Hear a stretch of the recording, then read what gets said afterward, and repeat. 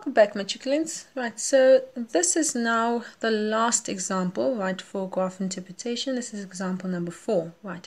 And obviously we can't leave out um, the trig functions, right. So we are also going to have graph interpretation being tested um, in trigonometry.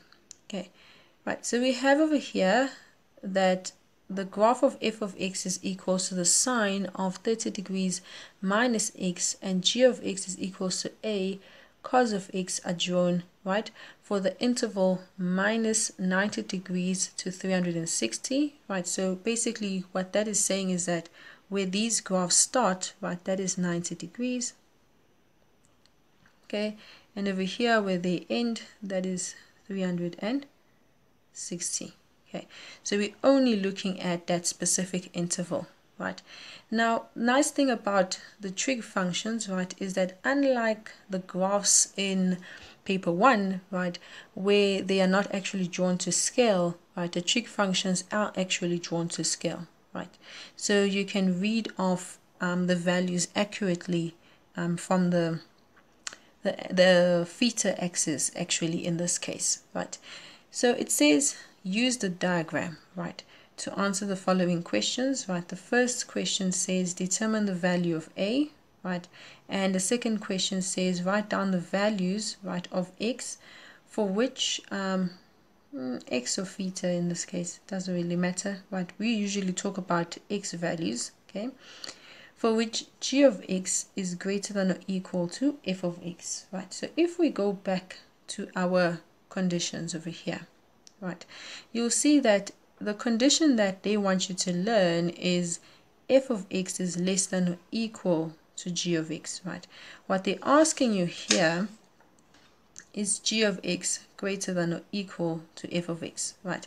So the important thing is not the names being swapped around that doesn't matter right? The important thing is that they want you to learn a condition of less than or equal right and understanding that as being the first graph being below the second graph right? So in other words first graph being below the second graph or being equal to the second graph right? You are interested in those situations okay? All right so now since we are looking for greater than, right, even though it wasn't one of the conditions that we were asked, right, or required to learn, right, we can now understand from that one that this one is saying that we're looking for the situation where the first graph, which in this case is g of x, right, is above f of x, right? So what is g of x? g of x is the cosine function, right? So we're looking for where the cosine function is above the sine function or equal to the sine function, right? So if we're talking about equal to the sine function, we're also interested in where it intersects the sine function, okay?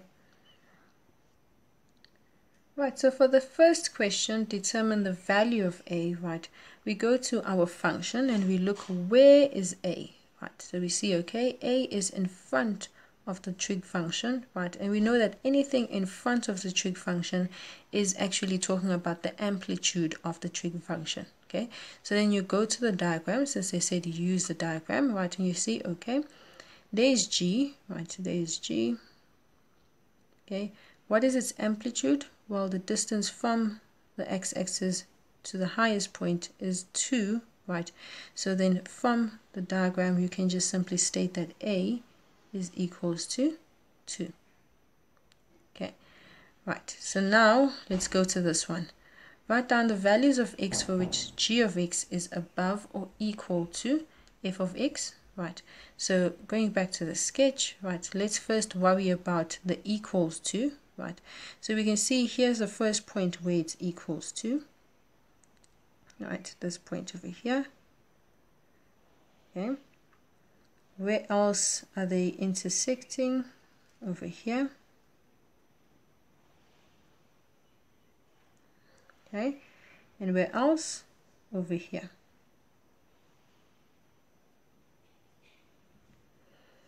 Okay. All right. So if we look at this right so you can see over here you have a distance of the first interval from 0 to 150 right? And this is divided into one, two, three, four, five, right, divisions. So 150 divided by 5 gives you a single interval of 30 degrees, right? Or you could have figured that out by looking at where the sine function starts, right? Because basically this is the same as f of x is equals to the sine of negative x minus 30 degrees. Okay, so now because we know that um, the original sine function starts at 0, 0, right? This one has now been shifted 30 degrees to the right. Okay, so the old coordinate of 0 degrees 0, right, as the starting point, this now becomes, right, um, moving from 0 to the right, you're going to end up at 30 degrees, right, and nothing has happened to your y values, right, and also in terms of the equation, 0, okay. So that is that coordinate over there. Okay, so that's 30 degrees, right? So that's one way that you could have figured out that this is 30 degrees, or you could have just used the method of the interval, right? And then seeing how many times was that interval divided. Okay, so if this is 30 degrees, right, then this is 0, this is minus 30, this will be minus 60. I'm, I'm missing a minus over here, silly me. Okay, so then this is minus 60, meaning that this coordinate is minus 60 degrees right? And it's at a y value of 1 okay. Ooh, let's check this other one this point of intersection this one. Okay. So if this is 30 then we have 30 60 90 right? And then this is going to be um, 120 okay? And it's at a y value of minus 1 okay it's that points of intersection okay? All right so now let's look at this one. Well this one is quite simple. We can see clearly it's at 300 degrees right and the y value let's just see.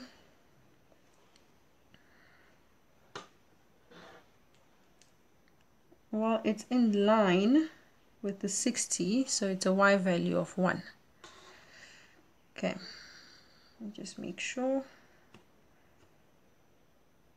Yeah it's a y value of 1 okay so that's that coordinate over there right sorry for writing it so far away. Okay so now we have this part taken care of right? We've found the places where these two graphs are equal. Now we have to be worried about where um, the cosine function is above right the sine function. Okay. Right so let's grab our ruler. Right. I think just to make this a little bit easier right let's highlight the two functions right so let's highlight the cosine function in um, pink.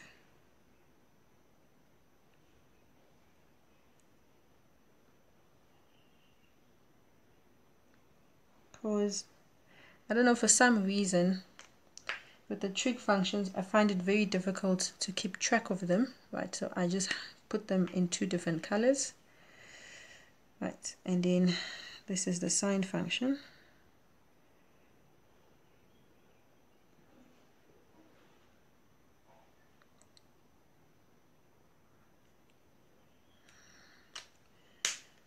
Okay, so it's not showing up so nicely on camera if I, when I see properly, right? Basically, the sine function is in green and the cosine function is in pink. Okay, so let's see, right? So when is, uh, all right, so we're just looking for pink above green. Okay, so let's see. Pink above green. Let's see right now. Nope. Nope equal all right so there we go pink is now above green pink is above green pink is above green pink is still above green ah we've hit a x-intercept right? So green is going below right? But the important thing is that pink is still above green so we keep moving.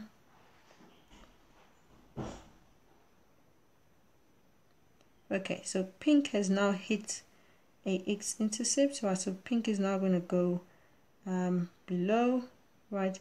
But the important thing is really here is it still above green? Right so let's keep moving and see. Yep it is still above green. And now it's going to start changing. The pink is now below the green right so it stopped over here. At the second point of intersection okay so this is where it stopped. And if we go back this is where it started.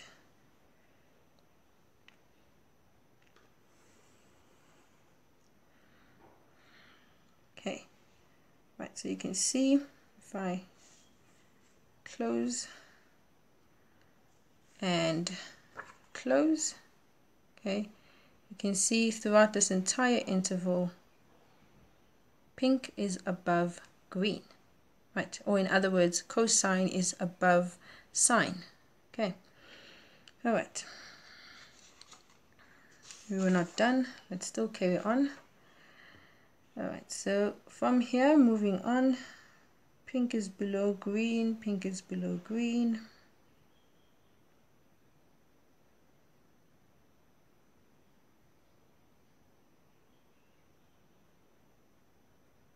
right so I've reached another x-intercept of the cosine function which means that now um, the cosine function is going to go above the x-axis right? But that's not what we focused on in this case. We are waiting for it to be above the green right? So it's still below the green graph. And that's going to start changing now at this point right? Just going to make a line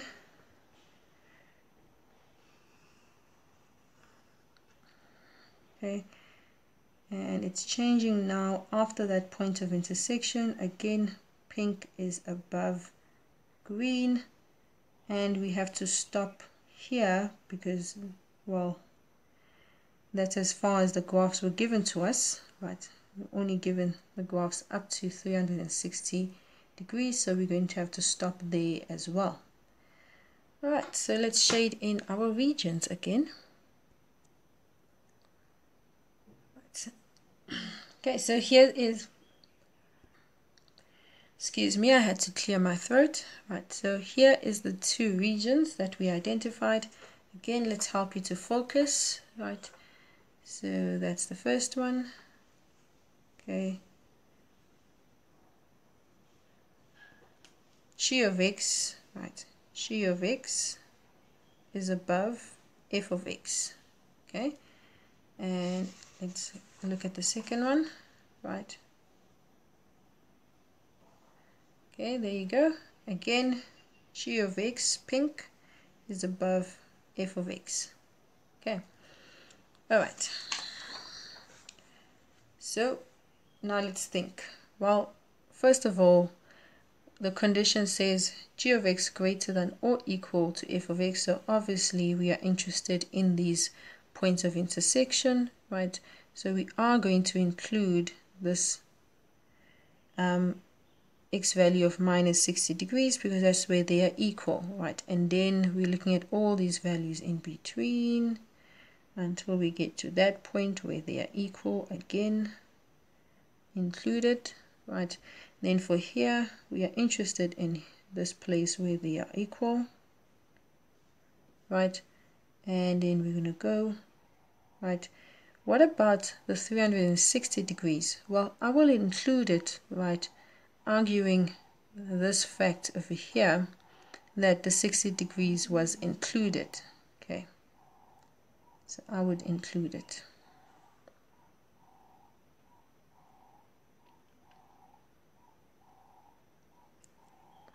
Okay. All right, so let's write down the answer. Mm, trying to get everything in view here. It's not working. Uh, right but basically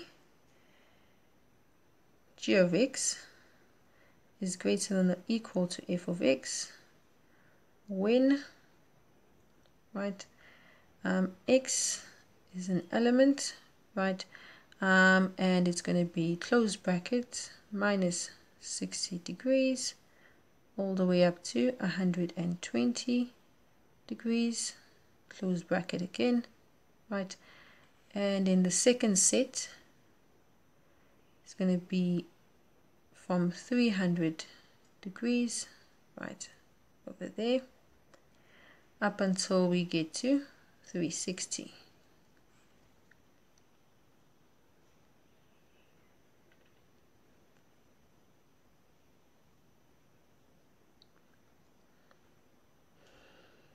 okay. Right so that's it. That is a trig example right? So that's the answers and that's the graph.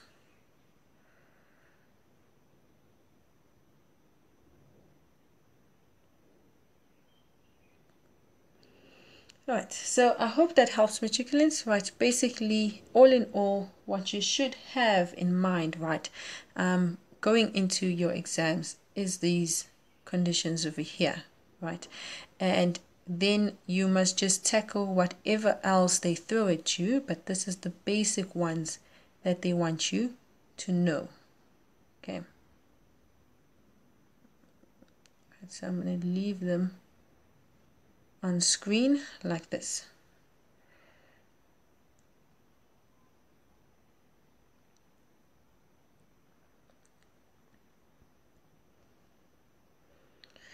Right then, until next time guys, bye!